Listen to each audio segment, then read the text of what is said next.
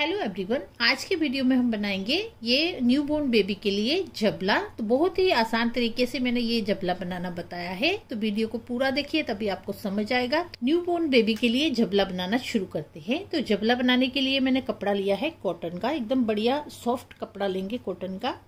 तो कपड़ा मैंने कट कर लिया है, जितना हमें चाहिए। ये कपड़ा हमारा डबल में है, इस तरह से डबल है कपड़ा। तो यहाँ से लंबाई ली है ग्यारह इंच। तो बनने के बाद ये हमारा दस इंच रह जाएगा। आधा इंच हमारा यहाँ सिलाई में जाएगा और आधा इंच यहाँ जाएगा। तो दस इंच बन के रेडी होगा ये। इसके बाद हमें चौड़े में लेना है। तो चौड़े में भी मैंने ये ग्यारह इंच लिया है, लेकिन ये हमारा डबल है कपड़ा इस तरह से। इसको हमें इस तरह डबल कर लेना है। उसके बाद एक और फोल्ड करना है। तो ये हमारा चार फोल्ड में हो गया है। कपड़े को हमें इस तरह से रख लेना है। ये फोल्डेड साइड है, ये ओपन साइड है। कपड़ा चार फोल्ड में आ गया है। अब हमें सबसे पहले शोल्डर की मार्किंग करनी है। तो शोल्डर हम लेंगे तीन इंच। यहाँ से साढ़े तीन भी ले सकते हैं। अगर बच्चा हेल्दी है तो साढ़े तीन भी ले सकते हैं। तो यहाँ पर मैं तीन इंच ले रही हूँ। तीन इंच पे निशान लगाएँगे और ये आर्म होल का निशान आएगा। ये भी तीन इंच पे लगेगा। इस निशान को इस तरह से हमें यहाँ पे ऐसे मार्किंग कर लेनी है। और यहाँ से ये इस तरह शेप बन जाएगी हमारे आर्म होल की। इस तरह राउंड में दे देंगे। यहाँ से नेक के लिए चौड़ाई रखनी है। तो यहाँ पर मैं रख रही हूँ टू एंड हाफ़ इंचेस यहाँ पे ऐसे रखेंगे। और यहाँ से डीप रखेंगे नेक को एक इंच ये हमारा बैक का बनेगा। इस तरह से ये हमारा ऐसे आ जाएगा। और यहाँ से सीधी लाइन लगा देंगे। ये बैक का नेक है एक इंच और फ्रंट का हम रखेंगे डेढ़ इंच यहाँ से ये भी यहाँ तक ऐसे मार्किंग कर लेनी है। अब इसको हमें शेप देनी है तो ये हमारा बैक का नेक है। यहाँ से ऐसे राउंड में शेप देंगे। और ये हमारा फ्रंट नेक है। यहाँ से इस तरह इसे भी राउंड में शेप देनी है। तो यहाँ पर हमें कोई शेप नहीं देनी, क्योंकि सिलाई करते टाइम हम थोड़ी सी शेप ऐसे दे देंगे। अब ये मार्किंग इतनी ही हमारी होगी।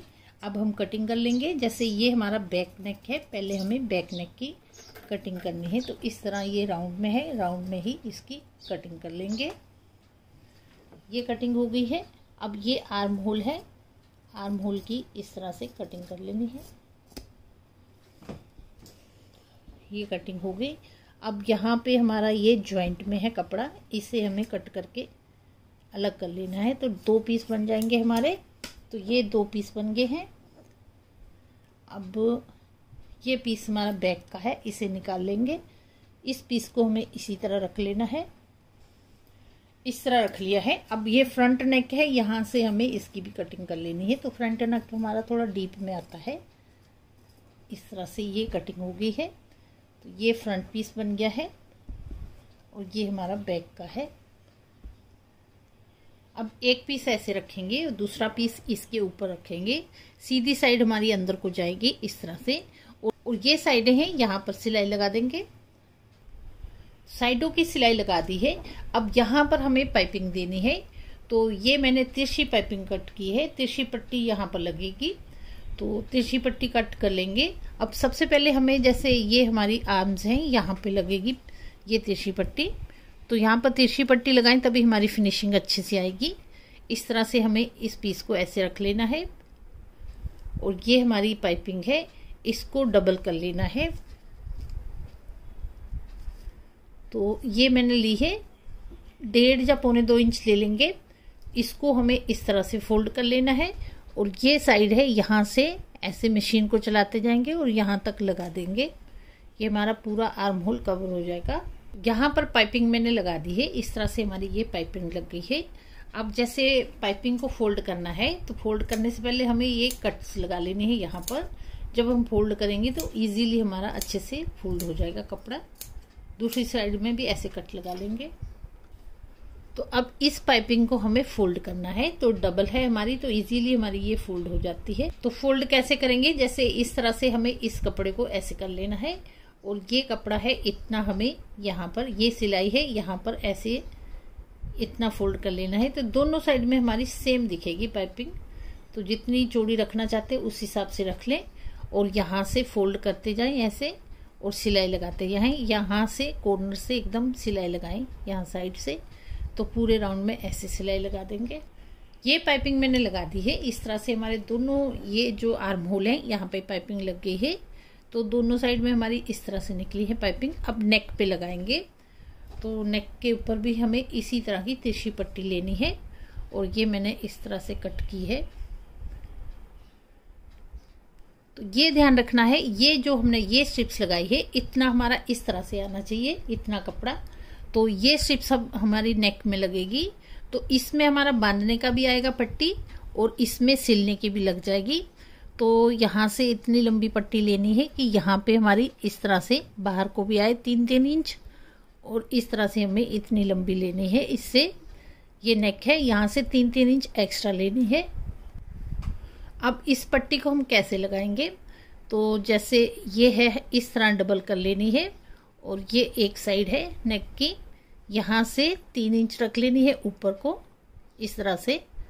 और ये है हमारी जैसे यहाँ से सिलाई लगाते हुए, ये राउंड में सिलाई लगाएँगे और यहाँ तक ऐसे सिलाई लगा देंगे। तो ये पाइपिंग इस तरह से लग गई है। यहाँ पर भी हमें कट्स लगा लेने हैं, जिससे एकदम बराबर हमारी ये पाइपिंग बैठेगी। सिलाई नहीं काटनी इस तरह से यहाँ से कट्स लगाने हैं। ये पूरा जो राउंड आया है, यहाँ पे कट्स लगा लेंगे। ये कट्स लगा दिए हैं। अब इस पाइपिंग को हमें फोल्ड करना है।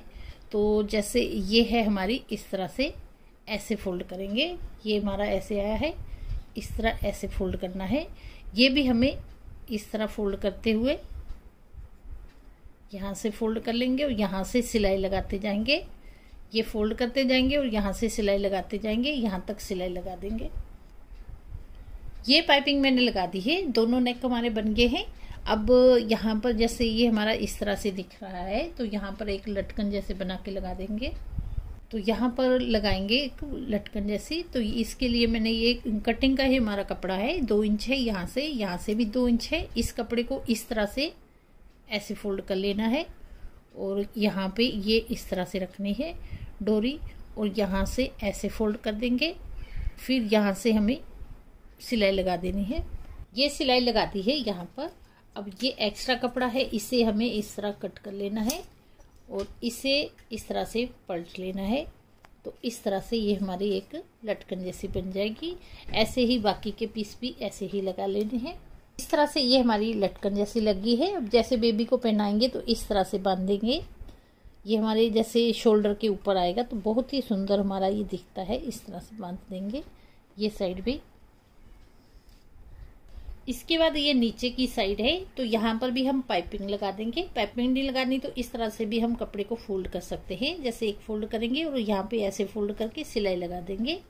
तो मैं यहाँ पर पाइपिंग लगा सक, रही हूँ। पाइपिंग हम ज़रूरी नहीं है, दूसरे कलर की लगाए, इस कलर की भी लगा सकते हैं। तो यहाँ पर भी पाइपिंग लगा देंगे। तो ये नीचे भी पाइपिंग लगा दी है। इस तरह पूरा हमारा ये बेबी का न्यूबॉर्न बेबी का जबला बन के रेडी हो गया है।